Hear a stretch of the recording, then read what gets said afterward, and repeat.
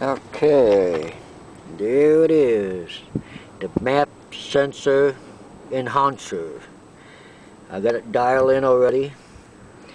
And I just filled the tank up. Topped it off.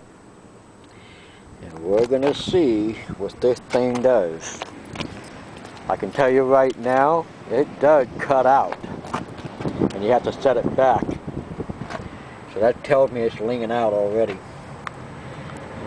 Uh, let's you can probably see the wires there got cut and spliced into the map sensor there.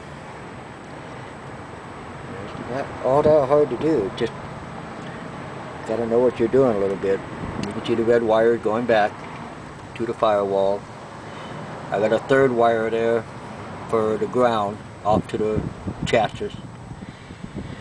Okay, stay tuned. I'm to see what it does. やるよ。